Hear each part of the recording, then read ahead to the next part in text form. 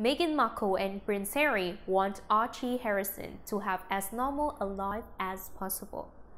Meghan Markle and Prince Harry's son, Archie Harrison, is one of the most famous names in the world, and he's only just turned one.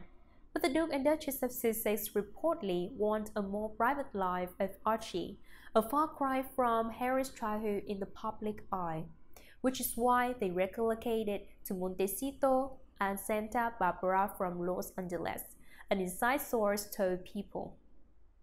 They can hope to give Archie as normal a life as possible there, the insider said. In Montecito, People notes, the Sussexes can enjoy a quieter lifestyle with plenty of opportunities to spend time at the beach or hiking in the hills. They were grabbing a smaller community and a slower pace.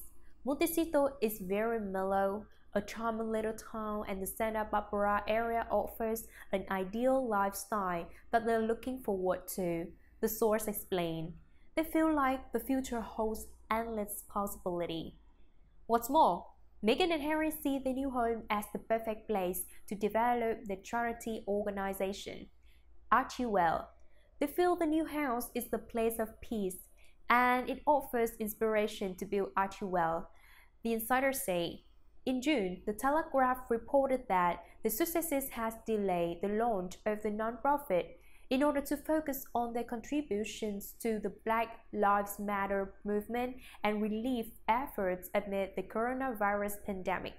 They are settling into a new life, a new era, a source told the paper.